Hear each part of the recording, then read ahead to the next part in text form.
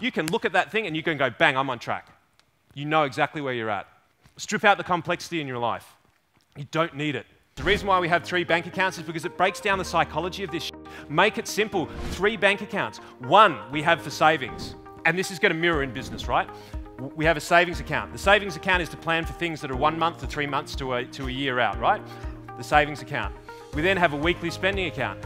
This account goes down to zero every week. What does it go down to? Goes down to zero every week because this is covering the costs that we actually spend on a weekly basis. And then we have our future fund. Our future fund is to save for the big things in our life, save for our deposits on our house, save from our investment properties, save for the future. And the reason why we have three bank accounts is because when visually you look at this, it makes sense. The weekly spending account goes down to zero every week. Is that a good thing? Yes, it's meant to do that. The savings account oscillates as we're paying bills. Is, it, is that okay? Yes, it's meant to do that. And the future fund is doing what? It's growing. Now, visually, when you open your bank account up, eh, whether you've got software in place or not, you can look at that thing and you can go, bang, I'm on track. You know exactly where you're at. There's no complexity there. Strip out the complexity in your life. You don't need it.